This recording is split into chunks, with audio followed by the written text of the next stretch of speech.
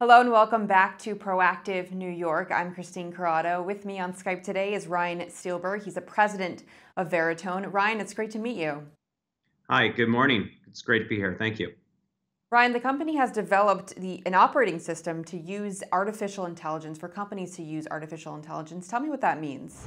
When I'm trying to analyze, you know, broadcast quality video from ESPN or CNBC at scale, um, I needed to uh, create a system that would harness a multitude of different cognitive AI models.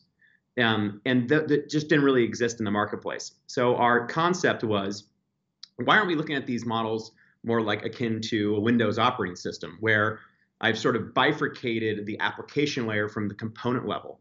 So now, if I'm trying to solve, you know, an indexing problem for ESPN video, um, I now can, you know, can create one common set of, of APIs in an application layer, and then be able to go out and, and find the best models on the market and not hard code them.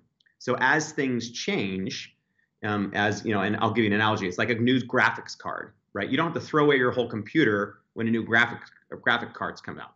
So the way the operating system again does is it sort of breaks apart those components. So as we introduce a new application, I could take advantage of an NVIDIA card, and on the reciprocal side, if a new graphics card comes out, I don't have to change the application.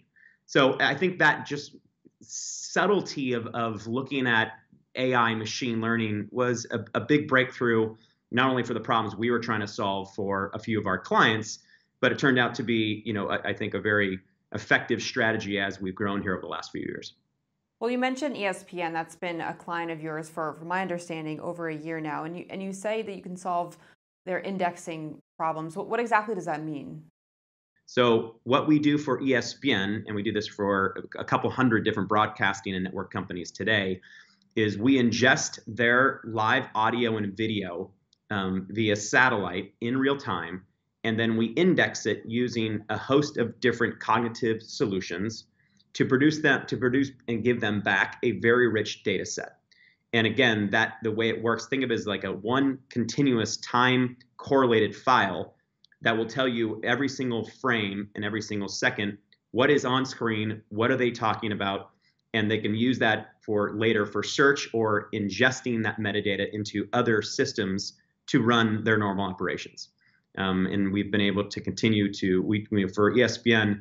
Um, we've can we've maintained that relationship um, as a client. I think almost three years now, and and we continue to add more content from them as well as um, you know uh, seeing a lot more engagement and number of users um, from ESPN. So, uh, I mean, from my understanding, is this technology can this be used quite broadly? Because I know you're also uh, have some advertising clients as well that use the technology for product placement. That's correct. So, it, and, and actually, because of that nature, it expanded us into other verticals, um, specifically public safety and legal but the, the, the models can really be it's it's all about training data what what problems you're trying to solve. So if I'm trying to find when that organic TD Ameritrade logo shows up in the background of Power Lunch, um, and I want to be able to view the the and and create an attribution model of how effective that is, and compare that against what the let's say the commercial commercial break stop spot is, you can do that now. So almost without any humans at all, once you've trained the models on the different logos, for example, that you're looking for, um, or the branded integrations, um, you can create a, a, very quick index to, so I can know exactly what was my audience size at that exact moment that TD Ameritrade logo was on screen, while Jim Cramer's face is also on screen. Um, you take that same concept and let's go over into public safety, and I'm trying to find okay, I, I have a tons of video footage and I'm trying to quickly identify um, individuals that may have a certain type of tattoo um, or somebody's face. Are is that person's face? Are they in a known offenders database? We can now do that very very quickly using again the same core kernel, the same underlying AIware, um, but the, but the application layer and the use cases are radically different. So, I mean, as you say that this technology can be used in so many different sectors, how rapidly are you seeing companies set aside budgets to actually integrate this kind of technology? Uh, it, it, varies by vertical. Um, media and entertainment, since they've they've sort of been in the business of really harnessing metadata about their content for a long time. And they were one of the early adopters. Thankfully, we it was an area that we went into first because of our background, and we're very thankful that we that we that we had that opportunity in media and entertainment first. Um, but even groups that like public safety, public safety don't like you don't they don't think of processing video and creating rich metadata about all their body cameras or dash cams, you know, for that police agencies use. Um, so it's taken a while to people even to understand what is the art of the possible. Um, but again, it just depends on the different market segments. So there are some, again, some verticals like media, entertainment, and legal that do appreciate and understand the cognitive requirements to produce metadata. And but then there are newer fields like public safety that are not quite as mature. But again, we're trying to make it very easy for them to understand, grasp, and harness that power. Um, so and, and and as we continue to add more content to it, it just candidly makes the platform that much more robust and scalable.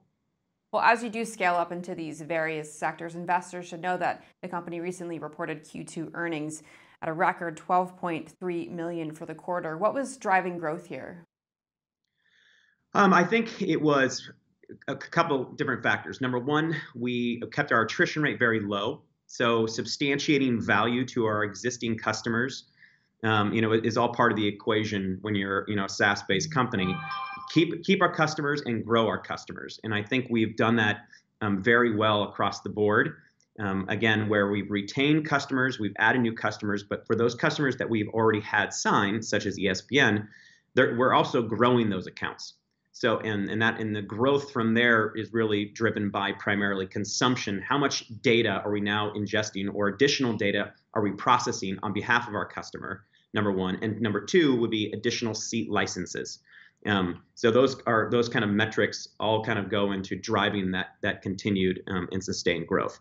Going you know going forward a little bit, and, and we did provide some general guidance. You know we got we obviously are expecting those same trends to um, to continue, but we we are very excited about some of the newer um, efforts that we've been putting into over the last several months in public safety um, particularly for our redact and identify solutions.